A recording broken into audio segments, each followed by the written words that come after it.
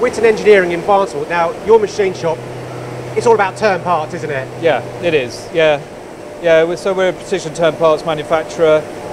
Uh, we've been on site since 1970, um, and yeah, we're very busy at the moment. Brilliant. And just a bit of history though. You started in 1953, but it wasn't quite so local, was it? No, so we started off in Wembley Right. before my time, um, and we relocated down here around 1969-70 as part of a government relocation enterprise scheme. And apparently there was a few different sites uh, that they could have chosen, but luckily they chose North Devon. Near the seaside. Yeah, near the seaside, um, lovely countryside around here, Brilliant. and uh, yeah, we've been here ever since. But as move, moving on, great bit of background history, but it is turn, part, turn parts. How many parts do you reckon you're, making a month? And I won't hold you to it exactly. Uh, I'd say in general on the turn parts side, it's got to be in excess of 100, 150,000. Wow. Okay. So you've got to have that. The machines are going to give you reliability, accuracy, Yeah. continuity. Yeah, you need solid machines. Yeah. Um, we, you know, we, we sort of we supply parts to a range of industries, a range of sectors, uh, anything from automotive to we've done body jewellery in the past. Um, you know, lots of industrial hydraulic type stuff. Yeah. Um, so obviously their demands they go up and down Yep. depending on what's going on in the in the world at the time. As we know, it's it's a bit sort of uh, let's say uncertain at the moment in certain sectors, but um, But because part, part of what you do is you've had to keep ahead of the game, so you've you're always Yeah. investing. yeah, and that's always been a part of our company ethos Okay. since like you know we come down here in the seven, in the seventies. Ian, who's the retired uh, MD, he's always been on that. He's always kind of um, tried to stay ahead of the competition, Yep. get involved with some of the bigger players in terms of the subcontract industry, and um, invest Yeah. um, in the likes of Citizen Machines. Citizens, yeah, sort of, you're, you're sliding ahead. Well, and you've got Miyano as well, so you've got Citizens, Yes, you've got Miyano. we got one Miyano, yeah. Absolutely. And one, one of your first, or your first one, L25 from 1995, still going Yeah, strong? 95, still going strong. Yeah, it's, it's, a, it's a bit of a filler machine these days, but the jobs we know it can run, it runs lovely on there. Never had problems on it.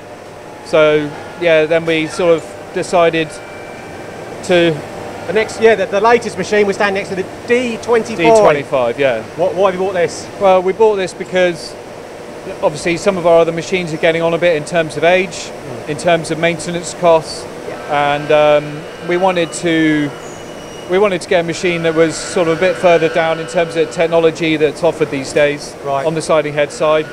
Um, and you know, so far so good. We've you know we've been really impressed with it. The cycle times have been sort of slashed by around 20% so far. Right. Is that down to programming or actual technology in the machine? I think it's a bit of both. It is, Um, okay. And I think that potentially we should be able to improve on that as well. Right. Because once we have once we're settled down, we've got a long running job coming up in July. Yeah. And once that kicks in, we should be able to spend a bit of time on uh, making improvements Yep. rather than rushing from one job to the other. And you know, And you're talking long running job. I mean, how many, how many sort of parts are you going to be uh, manufacturing? well, we we are looking at at least three hundred thousand. Wow. Um, but this particular one, but the customers told me that it could potentially just continue. Right. Um, he's told us we're going to be the sole supplier for it. Um, we've already got the initial order cover. Obviously, these days, supply, getting supply of materials is a bit more long-winded than it was. Yeah. Uh, so we can't start until July, but we're going to, you know, we're going to start in a, in a week or so, really getting into the machine and um, getting the program all This has organised. confidence that you'll be able to keep, you know, running. You're going to get that longevity, Yeah. accuracy, Yeah, and Yeah. running it overnight. we run similar parts at the moment. I mean, overnight running may be down the line, but to start with, we'll keep it simple. Yeah. Uh, like This- I say, we run similar stuff, and we know we kind of know what to expect from Citizen on this sort of work. Okay. so in terms of Citizen, then support from Tony and the applications guys that, that they look after So yeah, you. it's always been good. Yeah, always been very good at communicating with us. Yeah. If we get in touch with Tony and say, you know, we need to chat about a possible new investment, he's down here within about 10 minutes. Ah, yeah, any sniff of a sale, Tony be here. but I mean, they're a long way away in terms of Bushey and up in Birmingham, but they, they do look after you. I mean, in terms of parts, this part here is quite, it looks a fairly, fairly straightforward part, but quite tight tolerances. What's happening with this part? Yeah, so it's quite, it's got, it has got a tight tolerance on it. I mean, it, it's, uh, it's a filler part for us while we're sort of waiting for material to come in for the next one, but it's quite tough material. We've done it on many other citizens in the past here. differing results in terms of cycle time. Yeah. But again, good result. You know, it's it's spitting them out nice and fast. No problems in terms of uh, swarf or uh, you know any sort of quality concerns. So Right. yeah, ticks that box. It's Another job. interesting, it's interesting to say about the Swarf because this machine has got LFV, but you haven't actually, Sonia, you haven't actually used the LFV yet. No, we haven't yet. Yeah. No, we haven't. We haven't really. Uh, obviously, like I say, it's still fairly early days in terms of Yeah.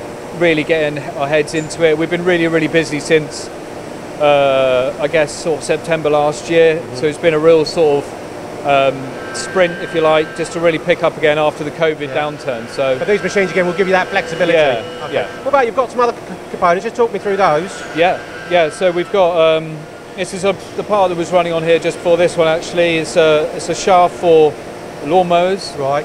Um, I think it's sort of like the budget lower end of the scale in terms of price lawnmowers. But these are shafts that go within each uh, one, and these are these are the ones you'd see in all the sort of um, the sheds that you see on industrial parks and things Yep. like that. Okay. Um, so what are, you- what are the actual processes doing here? so they're threading, turning, yeah. a nice knurl on it, nice Yeah. clean knurl, um, and yeah, that's that's more or less it. But we, we do sort of tens of thousands of these ones Again. every every sort of fortnight, I guess. Uh, we pack them into these bins here, and um, yeah, then they get palletized and off we go. Yeah. We supply two or three different customers with slightly different versions of these, Yep. but this is one that we've run on here, and the Yeah. cycle time again was brilliant. It's Brilliant. got- it was um, Yeah. If you're running tens of thousands. What about the other? What about the other component you've got there Yeah. as well? so this other one here, it's an automotive component. Yep. Uh, it's known as an inlet fitting. Uh, again, I mean that, that side of the business has sort of um, slowed somewhat with the uh, the issues in the industry at the moment in the automotive, but um, it's a it's a long running part. We're mid contract on it at the moment, Right. Okay. and again, it's there's real tight tolerances on this one. There's a cone in there. Um, you're not allowed, you know, kind of any swarf.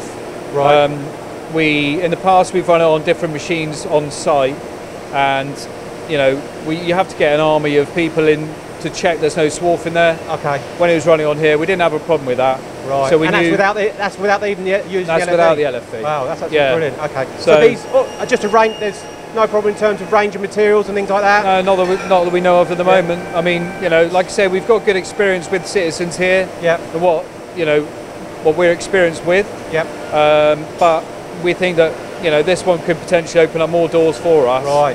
and improve on jobs we're already running on other machines that we've got here already Okay. so Brilliant. you know we know they last they last for ages Well, as per, but going back to your first one, the Yeah. L, L25 from 1995. Yeah. Tom, great insight into a fantastic machine shop making hundreds of thousand parts every month, dating back to 1953.